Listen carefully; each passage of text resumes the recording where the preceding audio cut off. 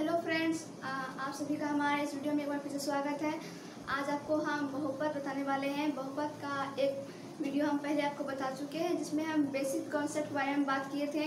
बहुपत किसे कहते हैं, उसके बारे में बताए थे। और आज हम बहुपत का ही बेसिक कॉन्सेप्ट बताने वाले हैं। और यदि आप हमारे उस वीडियो को देखे हैं तो आज आपको और मज़ा आने वाला है। और जिसने अब तक नहीं देखे तो उन्हें जाके ज़रूर देख लें। तो हम शुरू करते हैं। आज हम सबसे पहले बता देते हैं कि आज जो हम शुरू कर रहे हैं, वो आपका ऑब्जेक्टिव टाइप का होगा। तो आज जो भी हम बताएँगे, वो ऑब्जेक्टिव में कैसे पूछे जाते हैं ऑब्जेक्टिव पर कैसे आएगा, कैसे निकालना है आपको, जब आपका प्रश्न जब उतरेंगे तो किस तरह, किस टाइप से वहाँ पर मिलेगा सवाल, उस टाइप से पहले हम आपको थोड़ा सा बताएँगे हिंट्स देंगे। तो आगे बढ़ते हैं। तो आपको हम पहले के वीडियो में बहुपद का घात बताए थे। क्या रेखी बहुपद का घात कितना होगा द्विघात बहुपद का घात कितना होता है त्रिघात का कितना होता है। लेकिन आज जो हम पढ़ने वाले हैं आपको रेखिक बहुपद के शून्य रेखिक बहुपद का शून्य पढ़ने वाले हैं द्विघात बहुपद का शून्य और त्रिघात बहुपद के शून्य। तो आज हमारा ये चलेगा। तो इसमें हम देख रहे हैं सबका उदाहरण ले लिए हैं। हमारा रेखी बहुपद ये है, आपको बताए थे, जिसमें पावर एक हो, वो रेखी बहुपद अच्छी पावर दो हो द्विघात बहुपद अच्छे पावर तीन हो, वो क्या होगा, त्रिघात बहुपद इस तरह को हमने बताए थे। तो इसका उदाहरण हमारा ये होगा। ठीक है? तो उसी तरह से हम पहले इसको हल करेंगे। तो हम रेखी बहुपद का शून्य कैसे निकालते हैं? मान लीजिए आपका सवाल दिया हुआ है एग्ज़ाम्पल दिया हुआ है। इसमें हम रेखी बहुपद का शून्य कैसे निकालते हैं वो हम जानेंगे।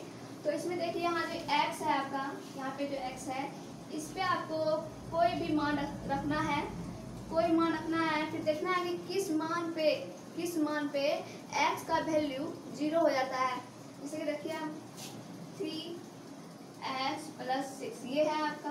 हम x की जगह पर यदि एक रखते हैं, ठीक है? तो कितना होता है आपका? तीन प्लस छः यानी कि नौ। यदि हम उसकी जगह पे दो रखते हैं तो आप देखते हैं कि कितना खुलता है हमारा? तीन दूरी छो और छो छः बारह। कितना खुलता है? यदि आप तीन गुना एक एक्स के जगह पर यदि आप ज़ीरो रखते हैं प्लस छः तो कितना होगा? तीन गुना ज़ीरो तो ज़ीरो और ज़ीरो प्लस छः तो क्या होगा?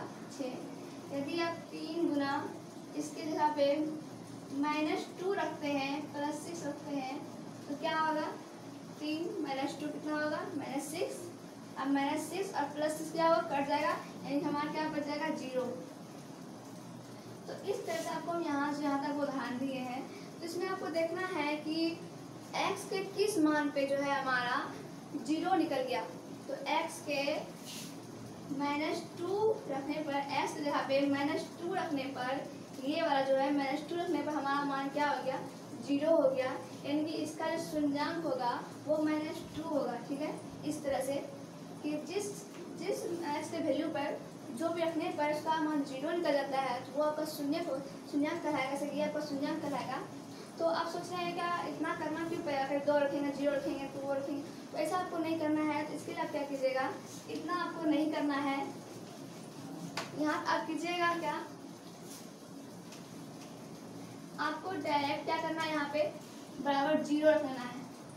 यहाँ पे आपको ज़ीरो रख लेना है, उसके बाद आपको निकालना है। तो आप क्या कीजिएगा? एक्स बराबर ये प्लस में है, उस तरफ़ क्या होगा? माइनस में। और ये तीन यहाँ पर इस तरह गुना में है, फिर एस बराबर माइनस सिक्स बटे क्या इंटू में है। जब वो बराबर इस पर आएगा तो क्या हो जाएगा हमारा? गुना में हो जाएगा। तो ये हमारा इस तरह से फिर दो बार में माइनस टू और में कट जाएगा। यानी कि एक्स बराबर क्या आ गया आपका? माइनस टू आपका डायरेक्ट माइनस टू आ गया। कि हाँ कि माइनस टू एक्स मतलब कि एक्स जगह पर माइनस टू रखने पर आपका वैल्यू ज़ीरो आ जाएगा। तो क्या हो गया? हमारा डायरेक्ट आ गया। इसलिए आपको उतना करने की ज़रूरत नहीं है कि में कभी माइनस दो में कभी ज़ीरो में, कुछ भी नहीं करना है। आपको बस सबके बराबर यहाँ पे ज़ीरो देना है और बस सोल्यूशन कर लेना है। और एक्स बराबर जो आपका आया, वो क्या हो जाएगा? देखिए बहुपद का शून्यक हो जाएगा शून्यक ठीक है? तो इस तरह से आप शून्यक निकालिएगा रेखिक बहुपद में। इसका एक व्यापक रूप होता है। इसका क्या व्यापक रूप होता है? यदि आपको पूछ दे ऑब्जेक्टिव में तो क्या देखिए बहुपद का व्यापक रूप क्या है? तो आप देख रहे हैं, इसको हम ए मानेंगे, इसको हम बी मानेंगे। तो क्या होगा? A x plus B sorry B बराबर यहाँ पे क्या दीजिएगा ज़ीरो। ये हो गया आपका इसका व्यापक रूप। या कुछ जब पूछे भी जा सकते हैं कि रेखी बहुपद का व्यापक रूप क्या है? तो ए एक्स प्लस बी बराबर ज़ीरो। ज़ीरो, ये आपका व्यापक रूप हो गया। तो इस तरह से हम इसका शून्य निकालेंगे। तो आपने इसको सीख लिया। अब हम बात करेंगे द्विघात बहुपद के बारे में। इसका शून्य हम कैसे निकालते हैं, उसके बारे में हम जानेंगे। तो इसमें देख रहे हैं आप, ये है ये है ये है। तो पहले हम जान लेते हैं, इसे हम क्या कहेंगे? चर। ये क्या है हमारा एक्स चर है। और उसमें जो गुना हुआ है, इसे हम क्या कहेंगे? गुणांक। इसे हम क्या कहेंगे? सिर्फ़ गुणांक। और इसे हम क्या कहते हैं? अचर। अचर यानी कि एक्स क्या है हमारा चर? और जिसमें हमारा एक्स नहीं है, वो ओचर ठीक है? ये चर है और इसमें एक्स नहीं है तो ये हमारा अचर है। इसे हम अचर कहते हैं। इसमें हम इसका शून्यांक कैसे निकालेंगे, वो आप जानेंगे। इसमें हम क्या करते हैं, सबसे पहले हम इसको हम क्या करते हैं एक्स बराबर सॉरी इसको हम ए मानेंगे, इसको बी मानेंगे, इसको हम सी मानेंगे, ठीक है? तो ए बराबर हम क्या है, यहाँ पे कुछ मान दिया हुआ है आपका, दो, तीन कुछ भी नहीं दिया है। नहीं, कुछ दिया तो यहाँ पे क्या है? एक है, एक मौजूद है हमारा। तो यहाँ पे ए बराबर क्या हो जाएगा? हमारा एक और बी आपका कितना दिया है? टू। और सी कितना दिया है आपका? माइनस आठ। यदि आपको माइनस है तो माइनस भी आपको लेना है। इसमें आप कैसे सुझाव निकालिएगा, वो आपको हम बता रहे हैं। तो देखिए, इसमें क्या करना है? आपको ये ए, सी जो है, ए, सी को गुना कर देना है। यानी कितना होगा? माइनस आठ गुना होगा। ठीक है? माइनस आठ इसका गुना होगा। अब क्या है? दो। अब इसको आपको क्या करना है? यहाँ पे भाग एल्शियम निकाल लेना है। ये मैच कराने देते हैं अभी, ठीक है? इतना हो गया। भाग देंगे। तो दो से, चार बार में, फिर दो से, दो बार में, फिर दो से, दो बार में। तो देख, इस तरह हमने देखा कि एक गुना माइनस आठ तो माइनस आठ होगा। लेकिन अभी हम एल्शियम ले रहे हैं तो सिर्फ़ आठ ही लिखेंगे। तो आठ लिखेंगे जिसका हम एल्शियम लिए हैं तो दो दो दो तीन बार आया है। लेकिन आपको यहाँ पे ऐसा कुछ करना है कि घटाने या जोड़ने के बाद आपका दो पुट जाए। तो आप इसमें इस तीनों में से क्या कीजिएगा कि घटाने या जोड़ने से दो पुट जाए। यदि आप दो दूनी चार और चार में ये दो घटा दे, देंगे तो आपका क्या बच जाएगा? दो बच जाएगा जो कि इसके बराबर हो जाएगा। ठीक है? तो इस तरह से हम क्या करेंगे? इसमें को गुना करेंगे और इसमें फिर घटा देंगे। तो हमारा टू पुट जाएगा, यानी कि बी के बराबर हो जाएगा। तो समझ गए हम क्या कहना चाह रहे हैं? ये दोनों के गुणा करने के बाद ए सी को गुणा करने के बाद, उसका ऐसे मिलने के बाद जो गुणनखंड आएगा, उस गुणनखंड में जो या घटा कुछ भी करने करने के बाद यदि आपका बी में पूछ जाता है उतना तो वो आपका हो जाएगा। सिर्फ़ अभी आपका क्या आया? चार आया है और दो आया है। आपको ध्यान रखना है। तो किसमें हमारा दो पूरा है? चार और माइनस टू से। तो क्या चार माइनस टू अब इसको मिटा देते हैं। आपको ये रफ में करना है, ठीक है? यहाँ पे नहीं करना है आपको। ये आपका रफ था। अब देखिए एक्स पर लिखेंगे। अब हम टू एक्स के जगह पे जो है, इसका ये लिखेंगे। तो क्या होगा? प्लस फोर एक्स है, यानी कि प्लस एक्स देना है आपको। प्लस फोर एक्स और माइनस टू एक्स माइनस आठ। ये आपको यहाँ पे लिखना है, इस तरह से। क्योंकि अगर फोर एक्स में माइनस टू एक्स घटाएँगे तो क्या बचेगा? प्लस टू एक्स बचेगा। तो इस तरह से आप गुणनखंड करेंगे। चाहे आपको कितना बड़ा आपका दिया हो तो आप उस ट्रिक के आधार पर बनाए बनाते हैं कि ए गुना सी कैल्शियम लेके उसके बाद जो गुणनखंड से आप जो बड़ा कुछ भी करके पुरा बी बी कितना आपको पुराना है, उस तरह से आप कितना बड़ा आपको गुणनखंड क्यों ना दिया रहे, आप तुरंत सर कर लीजिएगा। तो यह आपका ट्रिक था। तो आप देख रहे हैं इसमें क्या होगा? हम दो भाग में इसको कर दिए हैं। अब हम क्या करेंगे इसको और इसको क्या करेंगे? कोमल लेंगे। तो दोनों का कॉमन क्या होगा? दोनों में कॉमन एक्स आ रहा है आपका। और यहाँ पे क्या बच जाएगा? एक्स यहाँ पे प्लस यहाँ पे एक्स कॉमन आ गया। यहाँ क्या बचेगा? सिर्फ़ फोर और यहाँ इस दोनों में कॉमन क्या आ रहा है आपका? माइनस तो यहाँ पे रहेगा ही। इसमें कॉमन हम दो ले लेते हैं। तो यहाँ से क्या बचा? यहाँ सिर्फ़ एक्स बचेगा। और यहाँ माइनस और यहाँ पे दो से चार और सॉरी माइनस माइनस यहाँ पे प्लस समझ गए आप? ये माइनस माइनस हमारा क्या हो जाएगा प्लस यहाँ पे। तो इस तरह सबका हो गया यहाँ पे। तो आपको अब यहाँ पे क्या करना है? इस वाले को और इस वाले को एक बार लिखना है, यानी कि x प्लस फोर और इसको और इसको एक बार लिखना है, यानी कि एक्स माइनस टू समझ गए आप? अभी आपको हम क्या बोले? इसको और इसको आपको एक बार लिखना है और इसको फिर इसको एक बार लिखना है। अब हम क्या करेंगे इसमें? आपको हम बताए थे यहाँ ज़ीरो हम क्यों दे रहे हैं? यहाँ पे ज़ीरो हम डायरेक्ट का निकालने के लिए तो यहाँ भी आपको क्या करना पड़ेगा? ज़ीरो देना पड़ेगा, ठीक है? ज़ीरो देना पड़ेगा कि आप अलग मान रखे नहीं बना रहे हैं, आपको डायरेक्ट आंसर ही लाना है शून्य के लाना है तो इस तरह से आप ज़ीरो देके कर सकते हैं। इसलिए हम अब यहाँ पे क्या करेंगे? एक्स प्लस चार बराबर ज़ीरो यहाँ पे देंगे। इसका सोल्यूशन करेंगे पहले हम तो क्या होगा एक्स बराबर, ये प्लस में उधर जाके क्या होगा? माइनस में। ये हो गया आपका। एक शून्य का ये निकला, और दूसरा शून्य क्या है आपका? एक्स माइनस टू इसमें ये बराबर ज़ीरो दीजिएगा आप। देखिए एक्स ये माइनस में उस तरह के प्लस में। एक शून्य का ये निकला। एक शून्य किए और एक शून्य किए। तो इसमें आप ध्यान रखिए रेखी बहुपद में आपका शून्यंक एक होना चाहिए। द्विघात बहुपद में आपका शून्यंक दो ही निकलेगा और त्रिघात बहुपद में आपका शून्यंक तीन ही निकलेगा। जैसे कि बहुपद में जितना घात हो, जितना भी घात दिया है उसमें आपका उतना ही शून्यंक निकलेगा। यहाँ पे दो घात दिया है तो दो निकलेगा इसका शून्यंक यहाँ पे घात एक था तो एक शून्यंक इसका निकला। यहाँ पे घात तीन है तो इसका तीन शून्यंक निकलेगा। ठीक है? तो ये हुआ आपका द्विघात बहुपद में किस तरह से हम शून्यंक निकालेंगे, वो आपको हम बताए हैं। कि पहले इसको गुना करके ऐसे हम लेके तोड़ना है इसमें। तोड़ के फिर दो अलग कर लेना है। इस तरह से आप शून्य करेगा। अब बात है त्रिघात बहुपद की। इसमें आप क्या कीजिएगा? पहले इसके बाद थोड़ा बात कर लेते हैं कि इसका व्यापक रूप क्या है। तो इसका व्यापक रूप जो होगा आपका, इसको हम मिटाते हैं। इसका व्यापक रूप होगा आपका ए एक्स स्क्वायर। यहाँ पे कुछ नहीं दिया हुआ है तो एक है। और अंक की जगह पे ये एक, दो, आठ लिखा हुआ है, उसको हम ए बी सी मानेंगे। यानी यहाँ पे क्या होगा? A x square plus B x plus C यहाँ प्लस माइनस कुछ भी ऐसा मतलब नहीं है उनको ये आपका क्या होगा इतना बराबर? ज़ीरो। ये आपका क्या है? व्यापक रूप है। आप चाहे ज़ीरो यहाँ पे दीजिए या फिर यहीं पे दीजिए, कोई मतलब नहीं है, ठीक है? आप ज़ीरो वहाँ दे सकते हैं। ये क्या हो गया? ये द्विघात बहुपद का व्यापक रूप हो गया।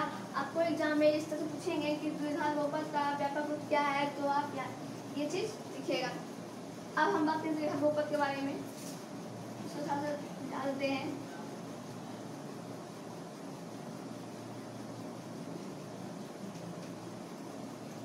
अब हम बात करें त्रिघात बहुपद के बारे में। इसमें क्या होता है, इसमें आपको गुणनखंड नहीं करना है। इसमें आप गुणनखंड किए थे क्या इन लोगों को गुणा करके फिर उसका एल्शियम लिए, फिर तोड़े। तो इसमें आपको ऐसा नहीं करना है। ये पहले से टूटा हुआ है। इसमें बस आपको कॉमन लेना है। इसमें से आपको बस कॉमन लेना है। ये पहले से चार भाग में बटा हुआ है। इसमें आपको बांटना नहीं है। इसमें डायरेक्ट आपको कॉमन लेना है त्रिघात बहुपद में। तो आप देखिए इसमें, इस दोनों में आपका कॉमन क्या आ रहा है? इस दोनों में कॉमन आ रहा है एक्स स्क्वायर क्योंकि यहाँ एक्स क्यू है। तो एक्स स्क्वायर यदि हम ले लेते हैं तो यहाँ क्या बचेगा सिर्फ़ हमारा एक्स माइनस एक्स पर तो कॉमन आ गया है। यहाँ पे क्या बच गया? सिर्फ़ तीन। ये हुआ। अब यहाँ पे माइनस है माइनस देंगे। अब इधर में कॉमन क्या आ रहा है? हमारा टू आ रहा है। टू लेते हैं। अंदर में क्या बचेगा? हमारा एक्स और माइनस प्लस माइनस अब दो को, दो का पाँच छः कितना बार आता है? तीन बार में। यहाँ पे तीन। ये आपका आ गया। आपको इतना ध्यान रखना है कि आपको वो चीज़ ग्रंथन करना है यहाँ पे देख लीजिए, इसमें आपको वही ग्रंथन करना है, जिससे आपका ये बीच का बराबर होना चाहिए। यदि आपको ये बराबर नहीं है तो यहाँ पे आपका ये चीज़ नहीं उतरेगा। यदि यहाँ पे माइनस है और यहाँ प्लस है तो ये आपका गुणनखंड नहीं हुआ। आपको हमेशा ये चीज़ जो है, आपका ये चीज़ बराबर करना होता है। यदि एक्स माइनस थ्री यहाँ है तो यहाँ भी एक्स माइनस थ्री होना चाहिए। X plus x plus three नहीं, ठीक है? अब हम क्या करेंगे? आपको बताए थे इन दोनों को हम एक बार उतार लेंगे। तो एक बार उतार लिए। अब हम क्या करेंगे? इसको एक बार उतार लेंगे, यानी कि एक्स स्क्वायर और माइनस टू ये बाहर वाले को, ठीक है? इस तरह से। हाँ आपको क्या बताया था? इसमें तीन शून्यांक होते हैं। तो देख रहे हैं, पहला शून्यंक आपका, पहले हम ज़ीरो देना किसी नहीं भूलेंगे। ज़ीरो सब में होना चाहिए, क्योंकि हम डायरेक्ट का मान निकाल रहे हैं। हमको जाँच नहीं करना है। अब देखिए एक्स माइनस थ्री बराबर ज़ीरो। पहले हम इसका लेते हैं, एक शून्य इसका क्या आएगा?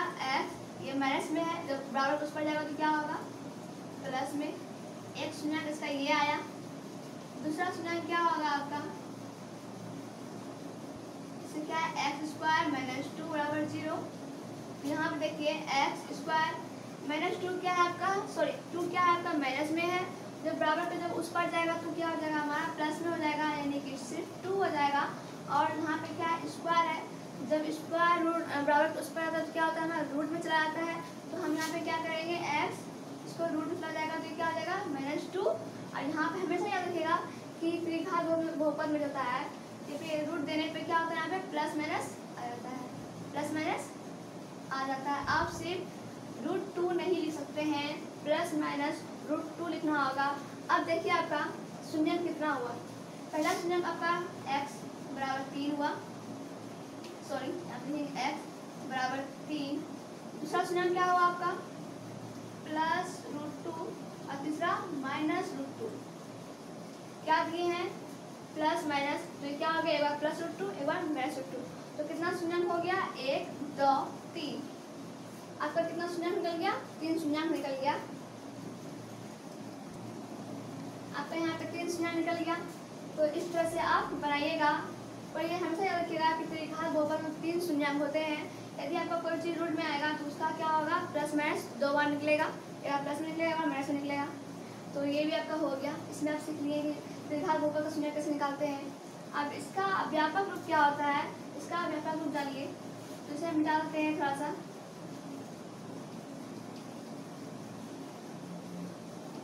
अब इसका जो व्यापक रूप होता है, इसका यहाँ पे होता है ए एक्स क्यू फिर plus B x square plus C x plus D बराबर ज़ीरो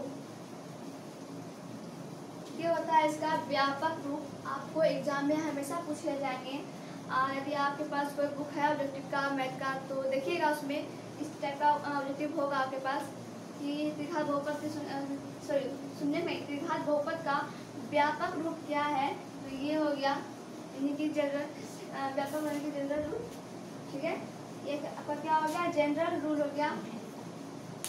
तो इस तरह से आप निकालिएगा। अब आगे बात करते हैं आपके आगे ऑब्जेक्टिव के बारे में। तो ये आप सीख गए हैं। तो हम यहाँ मिटाते हैं।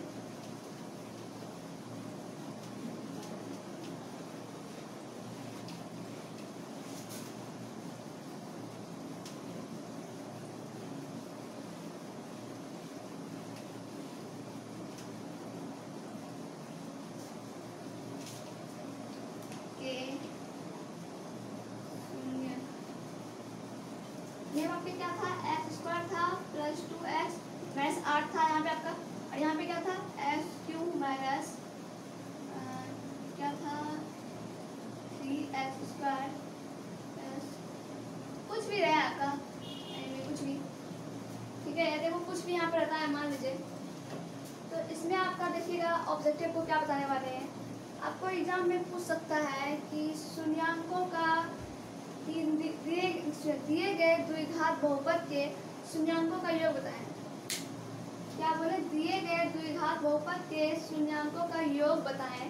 तो आपको यहाँ पे देखिए, शून्यांकों का योग बोल रहा है। शून्यांक निकाल के उसका योग करके बताने बोल रहा है। ये आपको कह रहा है, लेकिन आपको उतना करने की ज़रूरत नहीं है। आपको शून्यांक निकालने की ज़रूरत नहीं है। उसके एक सूत्र होता है, आप देख सकते हैं। शून्यांकों का योग बराबर माइनस बी बाई ए और एक सूत्र और होता है आपका, क्योंकि इसमें दो शून्य निकलता है इसे दो सूत्र होता है। शून्यांकों का गुणन फल बराबर सी बाई ए इसमें देखिए आपका ऑब्जेक्टिव कैसे पूछेगा कि दिए गए द्विघात बहुपद में, यानी कि इसमें, में शून्यांकों का योग होगा। दिए गए बहुपद में शून्यांकों का योग होगा। तो आपको ये नहीं करना है कि शून्यांक इसका गुणनखंड करके शून्यांक निकालेंगे, फिर उसका योग करेंगे। उतना करने का आपको ज़रूरत नहीं है। तो इसके अलावा एक सूत्र होता है माइनस बी बाई ए। यदि आप माइनस बी आपका क्या है? बी आपका ये होता है। तो माइनस बी बाई ए है आपका। तो देखिए माइनस लिखेंगे और बी के जगह पे क्या लिखेंगे? टू। बी आपका क्या है? टू है। और ए क्या है आपका? एक्स। यानी कि यहाँ पे क्या है? ए। इसको हम क्या बोलते हैं? ए। यानी कि यहाँ पे क्या होगा? एक। अब क्या हो जाएगा देखिए। एक का वैल्यू होता नहीं है तो क्या हो गया? माइनस टू निकल जाएगा। तो एक आंसर आपको ये निकल गया। यदि आपको पूछे कि दिए गए बहुपद में शून्यांकों का गुणनफल बताइए। तो शून्य गुणनफल वाला सूत्र क्या होता है? सी बाय ए तो देखिए सी बाय ए में क्या होगा? ये बताते हैं आपको। सी क्या है आपका? माइनस आठ और ए क्या है आपका? कुछ नहीं है कि एक जब ये हो जाएगा तो क्या हो जाएगा? माइनस एक तो ये आपका क्या हो जाएगा? शून्यांक निकल जाएगा। तो इस तरह से आपके एग्ज़ाम में पूछे जाएँगे। तो आप शॉर्टकट तरीके से ये रूल के नियम से आप ऑब्जेक्टिव निकाल सकते हैं और ऑब्जेक्टिव पूछे भी जाते हैं। तो इस तरह से आप निकाल के ऑब्जेक्टिव निकालिएगा। तो ये आपका हो गया। अब हम बात करेंगे त्रिघात बहुपद के बारे में। इसमें कैसे पूछे जाते हैं? हमने देखा था द्विघात बहुपद का शून्य हम निकालते कैसे हैं? यहाँ पे ज़ीरो हमारा कैसे आया? तो कैसे आया? मतलब यानी कि हम एक्स की जगह पे क्या रखें? तो ज़ीरो मान होगा। तो आपको सब तरह का मान नहीं रखना है। आप डायरेक्ट यहाँ पे ज़ीरो रख देंगे और जो भी मान होगा, यानी कि ज़ीरो रखना मान हो गया। तो इसलिए यहाँ पे ज़ीरो रखते हैं, ठीक है? तो इसमें आपने सीखा कि हम उसको शून्य निकालते कैसे हैं। तो आज आप सीखें, अभी आप सीखेंगे अभी कि हम इससे रिलेटेड ऑब्जेक्टिव कैसे पूछे जाते हैं, किस तरह से पूछेंगे तो आपको हम बताते समझाते हुए बताते जाएँगे कि कैसे ऑब्जेक्टिव को पूछे जाते हैं। तो पहले हम तो गुणनखंड करते हैं, इसको हम पहले इसका शून्य निकालते हैं। शून्य निकालने अभी को हम बताए थे कि हम इसको ए मानते हैं, इसको बी मानते हैं, इसको सी मानते हैं। इसको हम क्या कहेंगे? टू एक्स का एक्स का गुणांक है, सात सॉरी टू एक्स स्क्वायर गुणांक है और सात एक्स का गुणांक है और ये क्या है हमारा अचर है। और इसमें हम कैसे करते हैं? कैसे शून्य निकालते हैं? ए और सी को जो है सिर्फ़ आपको अंक लेना है, संख्या लेना है। ए और सी को गुना कर देना है। यहाँ पे लिखते हैं ए गुना सी को गुना कर देना है। यानी कि दो है और तीन है, यानी कितना हो गया? छः। और ए से गुना करने के बाद जो छः आया आपका, उसका आपको एल्शियम लेना है। कितना से? दो बार में, फिर तीन बार में, फिर तीन से एक बार में। यह तो गुणनखंड आया। आपको इनमें से क्या कीजिएगा? ये जो आपका निकला है, दो, तीन, एक, इनमें तीनों में से आप क्या कीजिएगा? क्या कर सकते हैं कि ये सब, मेरे सात के बराबर ये उड़ जाए? तो आप देखिए यहाँ पे, यदि आप तीन दूनी छः छः और एक सॉरी तीन दूनी छः और प्लस एक कर देंगे। तो आपका क्या हो जाएगा? सात हो जाएगा। लेकिन आपको कुछ भी करके, चाहे घटा के, जोड़ के, इस तीनों में से कुछ भी करके आपको क्या करना है? इस बी के बराबर पुराना है। तो आप देख रहे हैं तीन दूनी छः और छः और प्लस एक कर दिए तो क्या हमें सात पुर गया। तो आपको यहाँ पे सात पुराना था, लेकिन क्या पुराना है? माइनस में तो आप माइनस कैसे लाइएगा? यदि आप यहाँ पे माइनस दे देते हैं और यहाँ पे माइनस देते हैं तो क्या हो जाएगा? माइनस माइनस प्लस यानी कि सात और बढ़ जाएगा माइनस तो यहाँ पे माइनस समझ गए? तो माइनस सात हमारा पुर गया, अब यही चीज़ हम यहाँ बैठा देंगे। Two x square minus six यहाँ पे एक्स एक्स देना पड़ेगा आपको। फिर माइनस क्या है? वन यानी कि वन एक्स प्लस तीन फिर यहाँ पे क्या था? एक्स था इसलिए यहाँ पे दोनों तरफ़ आपको एक्स देना है। बराबर ज़ीरो आपको ज़ीरो यहाँ पे देते जाना है। ठीक है, ये आपका क्या था? रफ था। आप क्या बताए थे? आपको इन्होंने कॉमन लेना है? तो दो एक्स सॉरी दो एक्स कॉमन आ रहा है। यहाँ पे क्या बचेगा? एक्स माइनस ये कहाँ बचेगा? यहाँ पे सिर्फ़ तीन बचेगा। यहाँ पे माइनस वन कॉमन ले सॉरी यहाँ पे माइनस लेते हैं और इसका वन कॉमन लेते हैं। ठीक है, इसका वन जो हम कॉमन लेंगे, यहाँ क्या बचेगा? सिर्फ़ एक्स बचेगा। और माइनस प्लस माइनस और एक के पाँच तीन कितना हो रहा था? तीन बार में यहाँ पे तीन, बराबर ज़ीरो तो ये एक बार एक्स माइनस तीन और ये फिर टू एक्स माइनस वन इसको इसको एक एक बार, और इसको इसको एक बार. ठीक है? तो ये बराबर ज़ीरो तो एक्स माइनस तीन बराबर ज़ीरो कितना होगा? एक्स बराबर तीन हो जाएगा. और इसका क्या होगा? टू एक्स माइनस वन बराबर ज़ीरो इसका क्या निकलेगा? टू एक्स ये माइनस में, उसका जाएगा प्लस में. और फिर एक्स बराबर ये वन बाय ये टू इधर आ जाएगा. तो ये क्या हो गया? तो इस तरह आपको अनुखंड कीजिएगा। अभी आपको जब प्रश्नावली जब चलेंगे तो आपको इस तरह से बनाने के लिए मिलेगा तो इस तरह से अनुखंड कीजिएगा। तो इसमें आप देखिएगा कि आपका ऑब्जेक्टिव कैसे पूछा जाएगा। आपको पूछा जाएगा कि दिए गए बहुपद में इसका मूल निकालें। यदि आपको मूल बोले या शून्यांक बोले तो आपका मतलब यही हो गया। यदि आपको बोले इसका मूल क्या होगा तो यही होगा। यदि पूछे इसका शून्यांक क्या होगा तो यही होगा। यानी कि मूल और शून्यांक एक ही एक ही बात है। तो आपको ये हो गया, ये आपका ऑब्जेक्टिव पूछ सकते हैं और दो नंबर में पूछा जा सकता है। तो अब देखिए आप, आपका एस नंबर कितना मान आया है? तीन और माइनस टू यह आया है। तो इसमें हम क्या करते हैं? इसको हम अल्फ़ा मान लेते हैं और इसको हम बीटा मान लेते हैं। दो शून्यंक है इसको हम अल्फ़ा मान लेते हैं, इसको हम बीटा मान लेते हैं। ठीक है? तो ये मान लेते हैं। तो आपको यहाँ पे ध्यान रखना है, ये चीज़ नोट कर लीजिए कि ये दो शून्यंक को एगो को हम अल्फ़ा मानते हैं एगो को हम बीटा मानते हैं। अब इसमें आप देखिए क्या होता है। आपको एग्ज़ाम में पूछ देगा कि दिए गए बहुपद में शून्यंकों का योग बताएँ। शून्यंकों को योग मतलब कि तीन प्लस वन बाय टू करके बताना पड़ेगा। शून्यंकों का योग करके बताना है। तो आपको चीज़ निकाल के, फिर इसका योग करके आपको आंसर लाना है। इतना आपको नहीं करना है। इसका एक सूत्र होता है, शून्यंकों का योग बराबर। शून्यंकों का योग बराबर जो है आपका एक सूत्र होता है, वो होता है माइनस बी बाय ए आप देख रहे हैं माइनस बी बाय ए ये ये क्या सूत्र होता है? आपको शून्य निकालने की ज़रूरत नहीं पड़ेगा ऐसे में। ऐसे में जो है आप बिना इसको निकाले, बिना इतना निकाले आप डायरेक्ट इसका निकाल सकते हैं।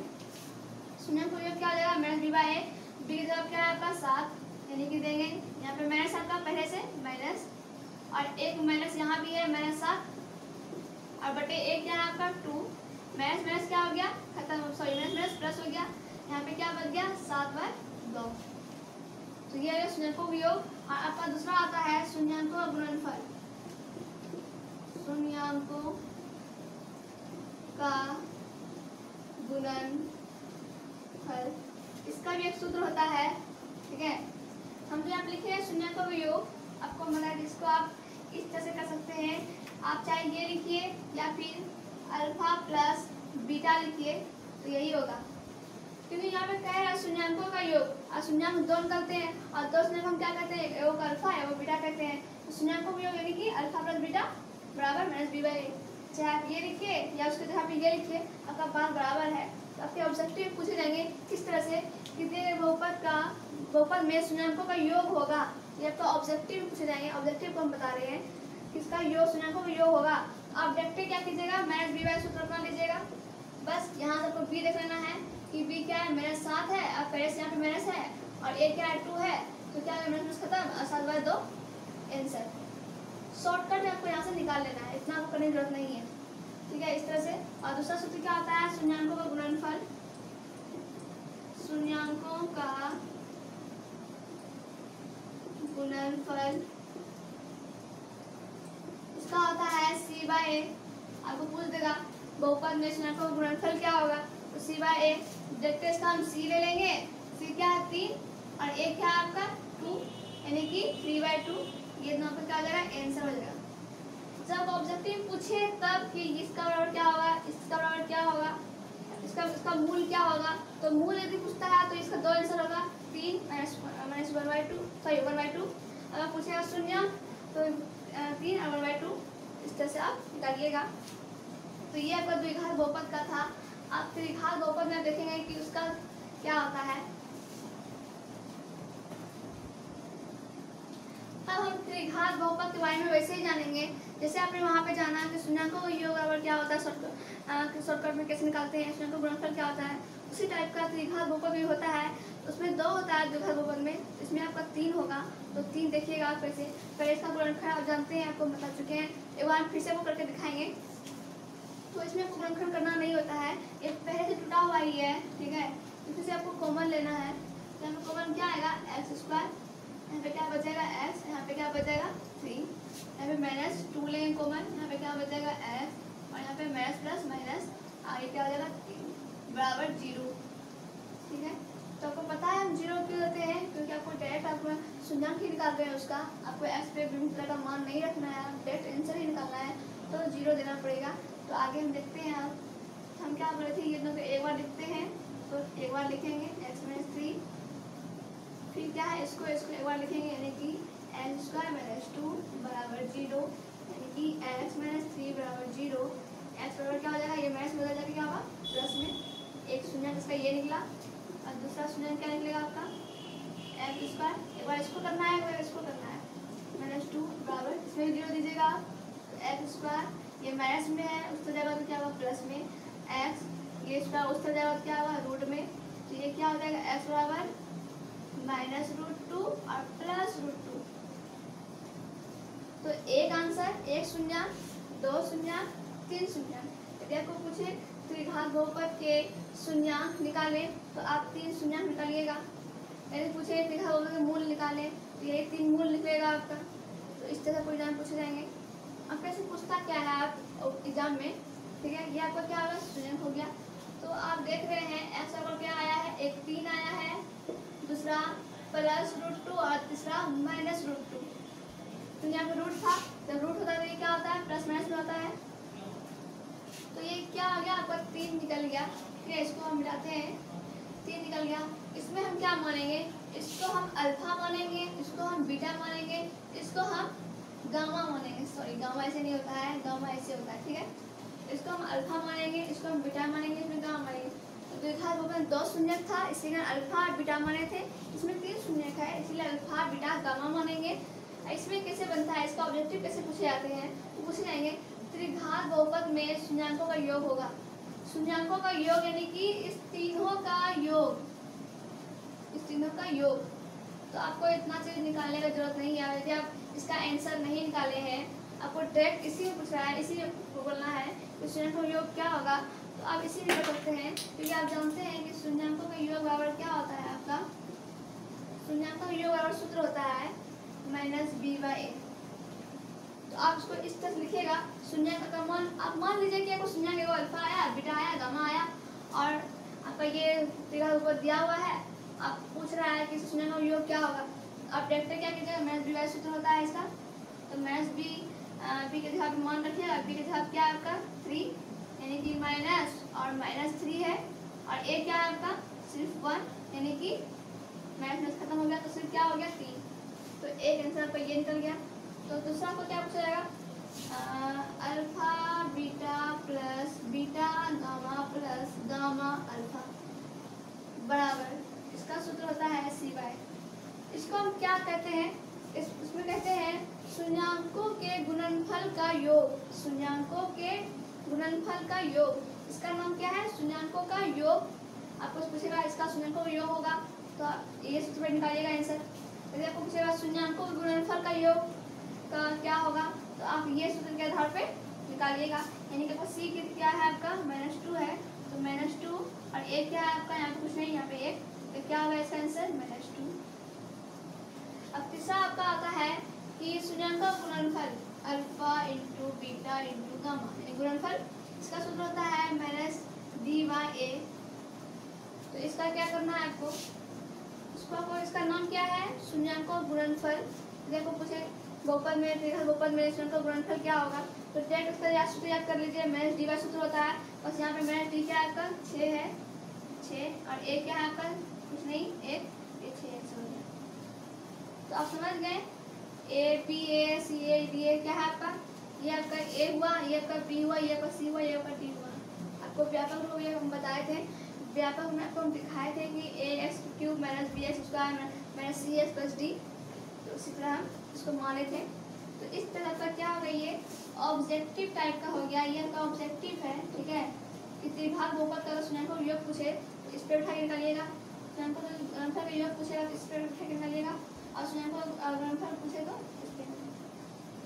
तो ये तीन टाइप से आपके एग्ज़ाम में ऑब्जेक्टिव तरह से पूछे जाते हैं। तो ये था आपका बहुपद का बेसिक कल से आपको हम 2.1 पढ़ाना शुरू करेंगे। अगर 2.1 में भी बहुत सारा बेसिक छुपा हुआ है तो पढ़ाते हुए हम बता, बताते चलेंगे। यदि आपको वीडियो पसंद आया तो सब सब्सक्राइब और लाइक अपने दोस्तों में शेयर भी ज़रूर कर लें। तो तब तक मैं थैंक यू कल मिलेंगे।